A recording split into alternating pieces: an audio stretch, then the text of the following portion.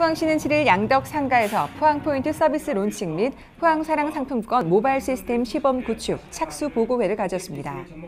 포항포인트는 지역 소규모 업체에서도 쿠폰 행사, 스탬프, 마일리지 적립 등의 서비스를 할 수 있는 시스템으로 누구나 앱을 무료로 다운로드받아 이용할 수 있습니다.